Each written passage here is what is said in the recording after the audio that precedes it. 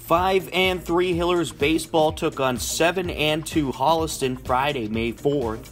Hillers trailed 1 0 heading to the bottom of the first, but responded quickly.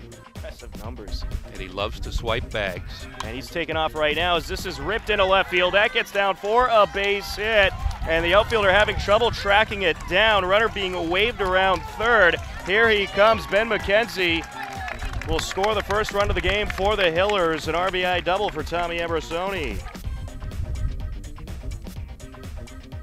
As he gets a piece of this one, rips it right up the middle. Ambrosoni being waved around third. The throw in is not in time, and the Hillers have a 2 1 lead as Sasitsky slides safely into second. An RBI single for Sasitsky, and he advances to second on the throw in.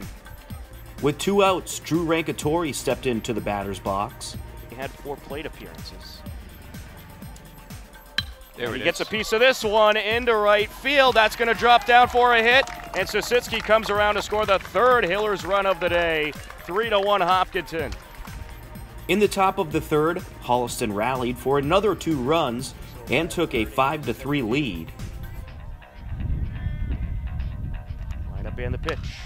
And this is tattooed in a left field. That'll drop in for a base hit. Holliston going to take the lead as Brad Seymour around to score. It's a 4 3 game in favor of the Panthers. An RBI single for Zach Pessin. He's two for two on the day. Hillers responded in the bottom of the fourth. I mentioned earlier, he hit a car out center field. And gets a piece of this one. Crush over to center field. And that is out of here. Home run, Ben McKenzie. Tie game. See if you had that kilt on, you'd have some dust blowing up on the infield. That's almost the exact spot he hit his other home run the other day.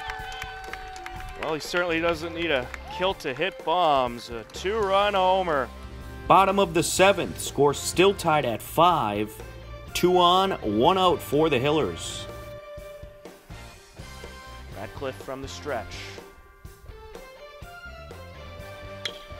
And he gets a piece of this one. Into left field it goes, and here comes the winning run.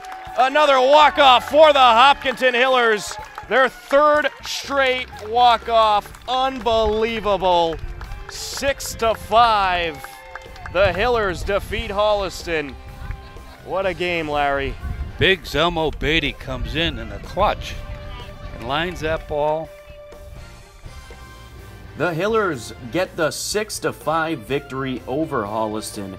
You heard it, third straight walk-off win for Hopkinton. What a way to open your homestand. Bob Pagliuca was the winning pitcher. Owen Radcliffe, the losing pitcher. Ben McKenzie, the star of the game, going three for four.